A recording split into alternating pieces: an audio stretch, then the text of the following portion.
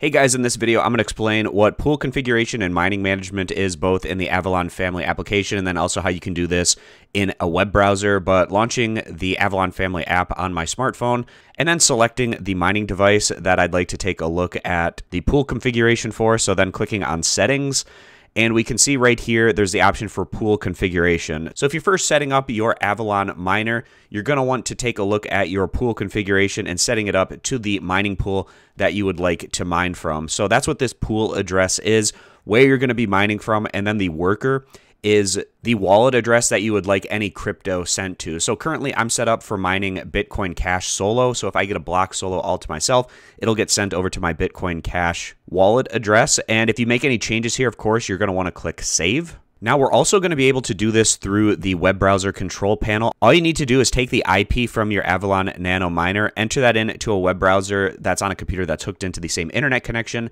as your Avalon Miner. So for me, that was 192.168.50.59. You can grab this number from that little screen that's on your Avalon Miner. It's going to be in the upper left-hand corner of one of those screens. So to show you what this looks like, clicking enter, it's going to bring you to this login page. If you have not changed the password, then it's going to be root, which is the same as the admin. So typing both of those in and then click login. Again, that brings us to this dashboard where we can go to configuration.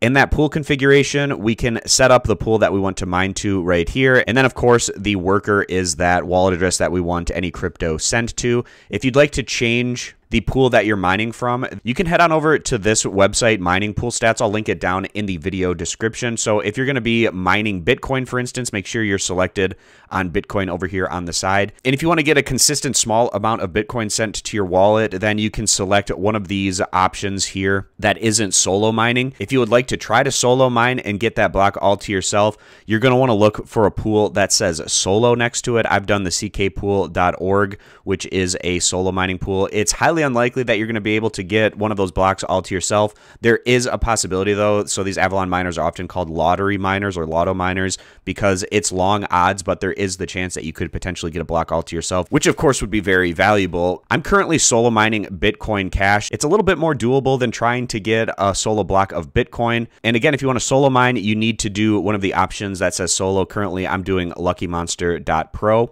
But if you'd like to pool mine and just get a small amount consistently, then you can choose one of the pool mining options that doesn't say solo next to it. But whichever pool that you'd like to mine with, you can click on it and it'll bring you over to a page that has the information that you need. So for me, like I said, I'm solo mining Bitcoin Cash, so selecting the Bitcoin Cash option, and that gives me the pool URL that I need to copy down. And once I have that copied down, going over to the configuration, that's what I put in this pool information right here. So whichever pool that you would like to mine to, whether it's solo mining or pool mining with others, you can find whichever pool that you're looking for in this area. And again, I'll link this page down in the description if you'd like to check it out for yourself. Additionally, it's important to note that if you change your mining pool or worker information, you want to click save and then you want to reboot the device. Rebooting it is going to get it up and running on that pool information that you had set in there. So again, if you're going to make any changes here, you need to save it and then you need to reboot the device. So I hope this quick tutorial was helpful going over pool configuration and mining management, whether you're doing it through the web browser or whether you were doing it through the Avalon smartphone application. I hope this video was helpful. I appreciate you guys stopping by. Consider subscribing to the YouTube channel and I'll see you back here next time.